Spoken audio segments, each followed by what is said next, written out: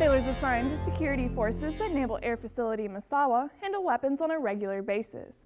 Petty Officer Aiden Campbell takes us in for a closer look. The Masters at Arms and Auxiliary Security Forces of Naval Air Facility Misawa protect the personnel and equipment located around the base. A large part of their job involves handling pistols, rifles, and shotguns all of which require qualification and training. We got to teach them, you know, how to properly range in their weapon, how to properly take it apart, put it back together, what the cycle of operations is, appropriate ranges, you know, basically everything they learn, we have to go over all of it one more time. And if there's any gaps in their knowledge, we have to fill those in. Unexpected damage at the shooting range made weapons qualifications difficult to schedule despite their importance. Well, the range has been down for quite a long time, uh, something along the lines of the two plates that come together like this.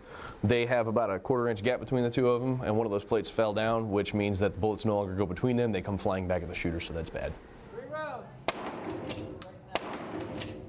With repairs finished, the training on Misawa Air Base has resumed.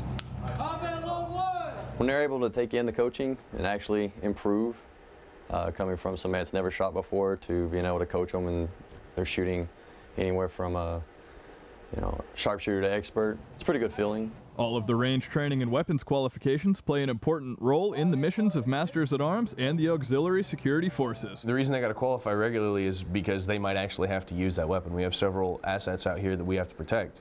And it's a very realistic possibility that they might actually have to employ a weapon, so we have to make sure that they know enough to use it and be accurate with it.